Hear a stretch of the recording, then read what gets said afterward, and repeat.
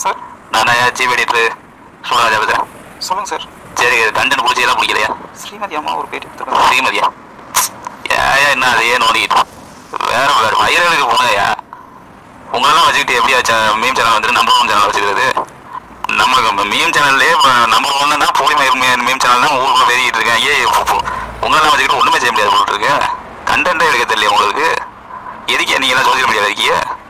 வாட்ஸ்அப்பில் ஜாயின் பண்ணிட்டு இருக்காங்க இன்ஸ்டாகிராமில் போட்டுக்கிட்டு இருக்காங்க ட்விட்டரில் போட்டுட்டு இருக்காங்க அதில் ஒன்று எடுத்து வைரல் பண்ணி விட்டு விட்டுட்டு சார் இப்போ எதுவும் வைரல்னே தெரியல. என்னன்னு தெரியலையா இந்த மோட்டோ கம்யூனிட்டின்னு சொல்லிட்டு எவனோ ஒருத்தன் தெரிஞ்சிட்டு இருக்கான் எல்லாம் அவன் எவ்வளோ பிரச்சனை போயிட்டு இருக்கேன் ஆமாம் சார். வாசன் போய் போட்டு விடு அவங்க ரெண்டு பேருமே சண்டையில் போட்டு விடு சார் சரி பேசி சால்வ் பண்ணிட்டார் சார் இது?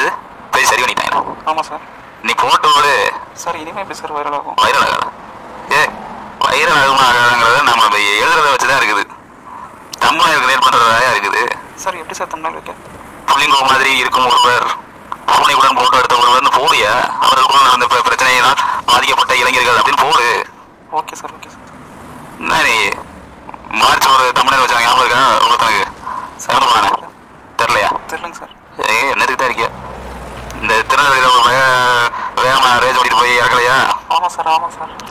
புகாட்டி பைக்கில் ஆமாம் சார் தீ பிடிச்சி ஆ, இறந்துட்டாங்க எந்த தமிழ் வச்சோம் கோஸ்ட் ரைடர் உண்டு எத்தனை பேர் பார்க்க வந்தாங்க?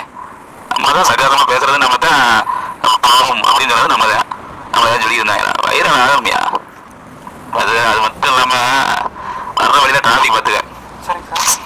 பைக்கில் போனாங்க நமக்கு அந்த காசுலாம் பைக்கு பைக்கில் பார்த்தாலே எரிச்சலாக இருக்குது.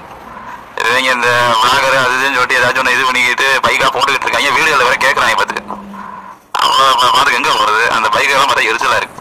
பைக்கர்னால கடுப்பாக இருக்கு சரிங்க சார் போட்டு விடு சரியா சார் சரிங்க சார் போடு சரிங்க சார் அப்புறம் அந்த மாதிரி கண்டென்ட்லாம் போட்டுட்டு என் பேரை கடைசியாக சொல்லும் போதாயா நம்ம மீம் சேனலில் பேர் என் பேரை நல்லா போய் மக்கள் மத்தியில் ரீச் ஆகும். சரிங்க சார் சரிங்க சார். அந்த மற்றும் சூழராஜ் அப்படின்னு சொல்லும் போதாயா அதில் ஒரு கிக்கே இருக்கு. இந்த பத்து வருஷத்துக்கு மீம் சேனல் வந்து ஒரு பயம் வராதா இப்போ வேற அந்த பயம் இல்லை. இப்படி நல்லா சொல்லுவான். ஒளிமயிர் மீம்ஸ்களுக்காக உங்கள் சூழராஜ் அது கேட்கறதுக்கு எப்படி இருக்கா?